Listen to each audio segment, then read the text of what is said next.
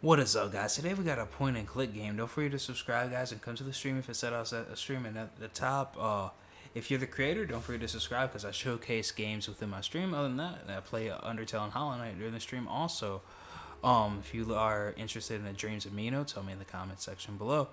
So pretty much, uh, this is a point and click game. I think uh, I've never played it, so I played a lot of scary point and click games, so like I actually kind of like this genre of gaming. I hope you enjoy my review also if you're the creator. It's called House on a Hill. It's got some really soothing, relaxing. I mean, you can hear the music. What am I doing? Um. Oh man, I'm liking the intro. I'm liking the intro. I like the car. I like the camera. I like my imp, that green thing. It's not even a green dang anymore. It was never a green dang. I just like calling it a green dang. That green dang. Oh wait, wait, wait. This is my curse. I, I, I like I, I didn't know it was gonna be a mouse. I didn't know you could make like, what is it, clock tower or something like that. I've only seen playthroughs of it, but it's pretty much one of those kind of games, uh, which is really interesting. Like holy crap! Actually, actually, I might. This is this might be something your boy plays.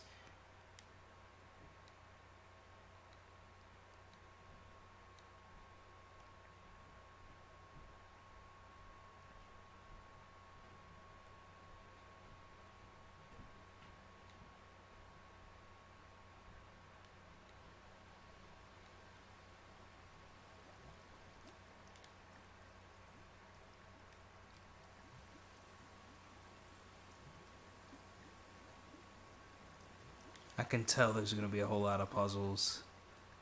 I have no clue what to do. I guess we're supposed to be getting inside the house.